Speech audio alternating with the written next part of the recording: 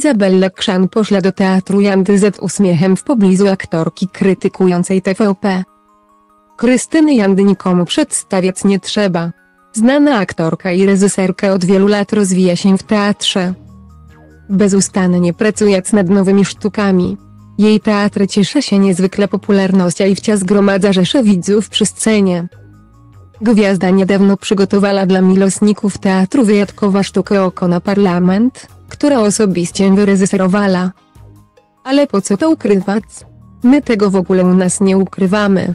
Gotujemy się, śmiejemy się z cała publiczność i gramy dalej. W tragedii taka rzecz nie może zdarzyć, natomiast w farsie nie mam nic przeciwko temu. Te, okno na parlament przypret, tylko reżyseruję, nie gram w niej, choć zazdroszczę kolegom opisywała Janda. Krystyna Janda słynie nie tylko z tego, że jest wyśmienita aktorka teatralna, ale również osoba o kategorycznych poglądach. Gwiazda przed laty otwarcie podejmowała temat reform, które zaszły w TVP w trakcie żadów obecnej władzy. Wówczas kwitowała sprawę następująco. Od trzech lat nie oglądam telewizji publicznej, bo to nie jest telewizja informacyjna, ale propagandowa, skrajnie ideologiczna, posługująca się pomówieniami i kłamstwami. Nagle pojawiło się przyzwolenie na brutalność, hamstwo, niesprawiedliwość w życiu publicznym mówiła w rozmowie z magazynem Wprost.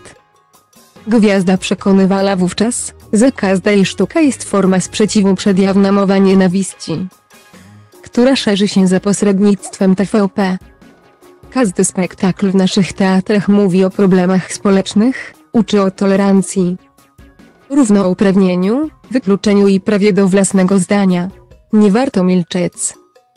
Milczenie jest cichym przyzwoleniem wyjawiła. Choć zdanie Jandy o telewizji polskiej jest tak ostre, że zdarzyło jej się nawet prosić o wyleczenie wszystkich kanałów stacji.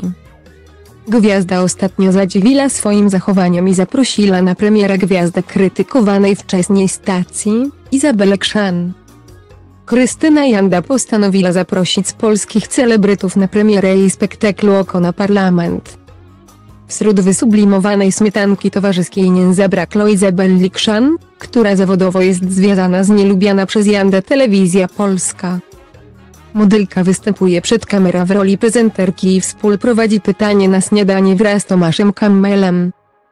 Gwiazda zajęła bowiem miejsce Marzeny Rogalskiej, która zrezygnowała z pracy w publicznej telewizji. Zdaje się, że Janda i Krzan musieli przelamać lody, bo młoda piękność z uśmiechem pozwala do zbiec na ściance.